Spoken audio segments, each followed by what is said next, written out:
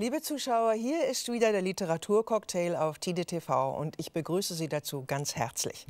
Auch heute stöbern wir wieder durch meine Bibliothek und dazu wünsche ich Ihnen gute Unterhaltung. In dieser Folge beschäftigen wir uns mit dem Roman Eine ganz normale Familie von Judith Guest aus dem Jahre 1976. Die deutsche Übersetzung von Karin Polz erschien im folgenden Jahr bei Rowold. Dieser Roman war die Vorlage für die erste Regiearbeit von Robert Redford 1981, die vier Oscars erhielt und hatte erst danach den großen Erfolg auf dem Buchmarkt. Hier eine kleine Kostprobe.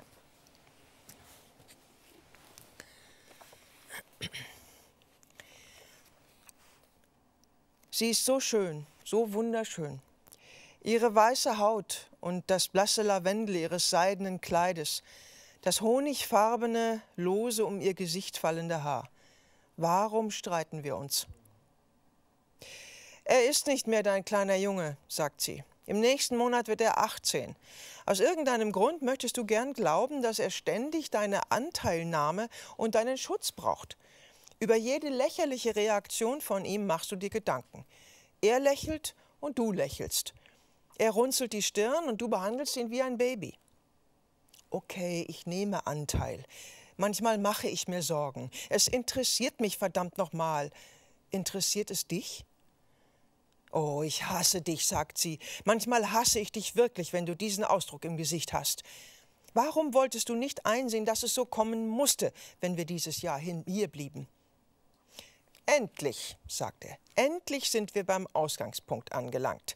Weißt du, warum mir der Tag verdorben ist? Weil das die ganze Zeit über mir hing. Es tut mir also leid, okay?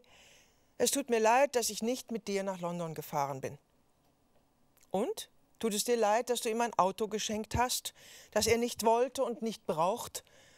Tut es dir leid, dass du Tausende von Dollar ausgegeben hast, nur damit etwas eintreten könnte, von dem ich dir im Voraus hätte sagen können, dass es nie eintreten wird? Sie sehen einander an und er möchte sagen, aber das ist es doch gar nicht. Siehst du das nicht? Jedenfalls nicht alles.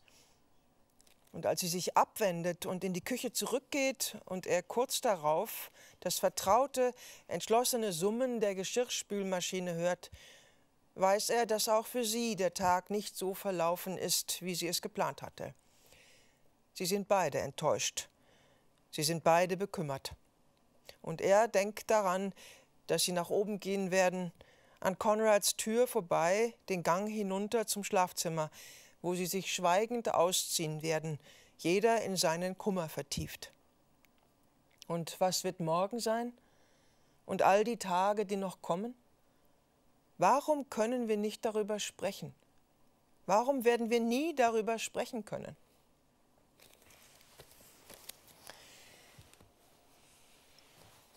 Dieses Buch beschreibt die Familie Jarrett. Familie Jarrett lebt nach außen hin in einer heilen Welt. Gesichertes Einkommen, Häuschen im Grünen, zwei Söhne. Perfekte Idylle. Aber diese perfekte Idylle ist zum Zeitpunkt, wo das Buch einsetzt, bereits zerstört. Denn der älteste Sohn Buck ist bei einer Segelpartie mit seinem Bruder Konrad ertrunken. Und Konrad fühlt sich für Bucks Tod verantwortlich. Er hat einen Selbstmordversuch begangen und ist in eine Nervenklinik eingeliefert worden.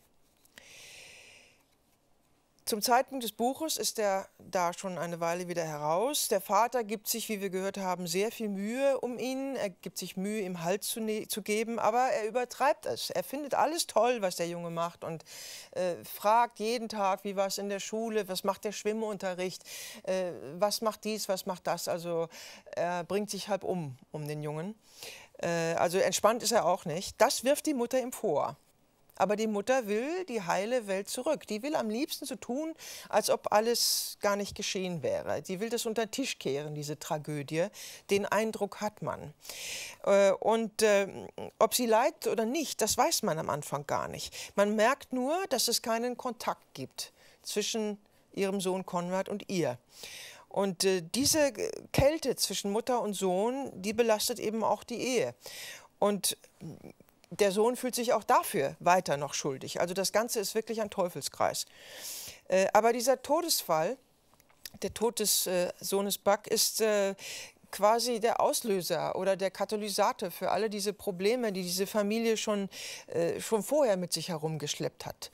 Äh, dass Probleme unter den Tisch gekehrt werden, dass der eine den Sohn mehr zu lieben scheint als der andere, dass die Söhne unterschiedliche Verhältnisse zur Mutter hatten und so weiter.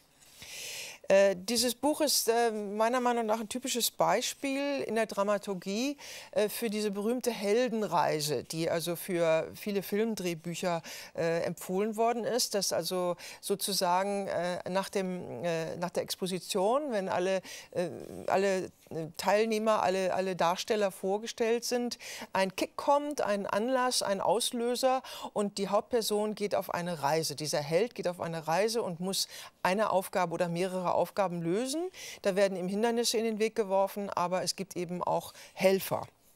Und äh, die Reise von Konrad äh, ist die Reise zu seiner geistigen Gesundheit, zu, zu einem normalen Leben dabei gibt, hat er einen Helfer, einen Mentor und das ist der, äh, der Psychotherapeut Dr. Berger.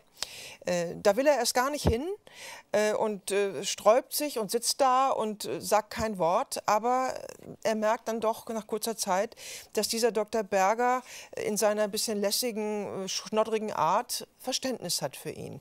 Ähm, denn der sieht das von außen, der steckt ja nicht in dieser konfliktbeladenen Familie mit drin und er findet die richtigen Worte für den Jungen. Äh, und die braucht er auch, denn es passiert noch etwas ganz Schreckliches. Der Junge hat, also Konrad hat in der Klinik, in der psychischen, äh, psychotherapeutischen Klinik, wo er war, eine Bekannte getroffen, eine Freundin, die auch äh, äh, Probleme hatte, natürlich, sonst wäre sie nicht da gewesen. Die ist gesund entlassen worden äh, und hat dann, und er erfährt dann, als er sie anrufen will nach langer Zeit, ähm, äh, dass sie Selbstmord begangen hat. Und diese, diese Geschichte, die haut ihn natürlich vollkommen um. Und ähm, äh, da braucht er den Dr. Berger ganz, ganz dringend. Und äh, es stellt sich eben raus, dass auch die Eltern äh, eigentlich diese Therapie bei dem Dr. Berger brauchen.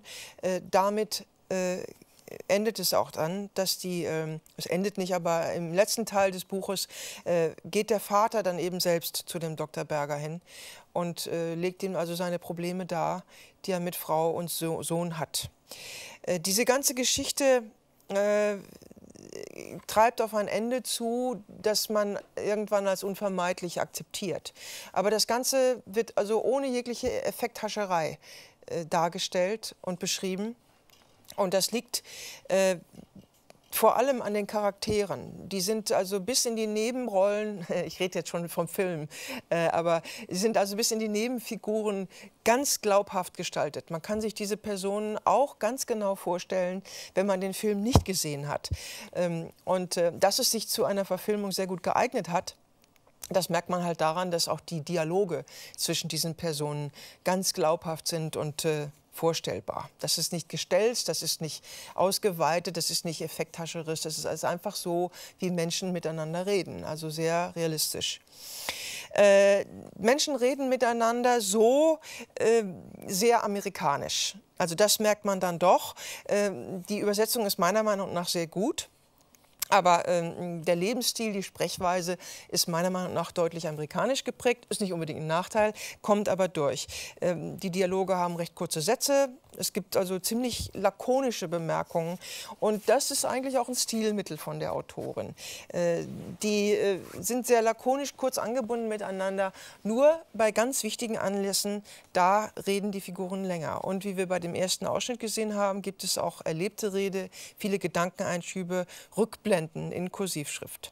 So, jetzt werde ich Ihnen noch ein kleines Zitat vorlesen aus dem Schlussteil. Und das ist die Szene, wo äh, Konrad äh, nach dem Selbstmord äh, seiner Mitpatientin wieder bei dem Dr. Berger ist. Der Grund für all das ist das kleine Mädchen aus Skokie, nicht wahr? fragt Berger ruhig. Crawford hat mich gestern Abend angerufen. Er war auch erschüttert. Oh Gott, sagt er. Berger reicht ihm sein Taschentuch. Kleiner, du kennst die Statistiken. Von 100 versuchen es 50 noch einmal. 15 schaffen es schließlich. Er hat gedacht, dass er keine Tränen mehr hätte, aber ohne Vorwarnung steigen sie ihm wieder in die Augen. Er bedeckt das Gesicht mit den Händen. Lassen Sie das, sagt er. Die Kellnerin bringt das Frühstück. Er putzt sich die Nase und lehnt die Ellbogen auf den Tisch. Sie war okay, sagt er. Es ging ihr gut, in der Schule überall dabei, sie war glücklich. Sie hat mir gesagt, ich soll mich nicht so in die Dinge hineinsteigern, ich soll ruhig werden und das Leben genießen. Scheiße, das ist nicht fair. Du hast recht, es ist nicht fair, sagt Berger. Es tut mir leid, es tut mir leid um das arme Kind. Eine verrückte Welt. Oder vielleicht ist nur der Ausschnitt, den wir von ihr sehen, verrückt. Vielleicht blicken wir nur durch einen Spalt in der Tür und sehen nie den ganzen Raum, das ganze Bild. Ich weiß es auch nicht. Er fährt sich mit den Händen durchs Haar. Du hör mal, sagt er, du musst was essen. Du wirst dich besser fühlen, wenn du was gegessen hast. Aber er ist zu erschöpft, um zu essen. Er nimmt versuchsweise ein paar Bissen vom Ei und dann schiebt er den Teller weg. Es hat keinen Zweck. Zu gefährlich. Iss doch, drängt Berger. Ich kann nicht, sagt er. Seine Beine fühlen sich an, als hingen schwere Gewichte an ihnen. Ich weiß nicht, was ich getan hätte, wenn ich sie heute Morgen nicht erreicht hätte. Ich war so durcheinander. Und jetzt? Er schließt die Augen, noch immer durcheinander. Berger lacht. Das ist es, was ich an dir so mag, Kleiner. Du hast Stil.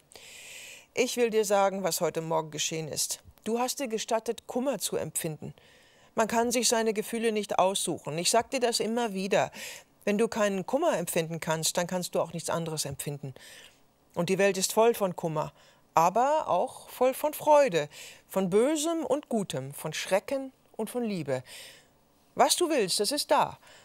Und wer sich all dem verschließt, der tut nur so, als ob er lebt. Ist dir das klar? Ja, meine Damen und Herren, Sie haben hier eine ganz starke Geschichte von Liebe, von Unfähigkeit zur Liebe, von Schuld und vergeben. Und ich kann dieses Buch nur voll empfehlen. Ich habe es wahnsinnig gern gelesen, obwohl ich den Film schon kannte. Und damit war es die zweite Folge der Bibliothek im Literaturcocktail auf Tide TV. Schön, dass Sie auch diesmal dabei waren. Vielen Dank fürs Zuschauen und Zuhören und schalten Sie auch das nächste Mal wieder ein zum Literaturcocktail. Bis dahin, tschüss, schönes Schmökern und auf Wiedersehen bei Tide TV.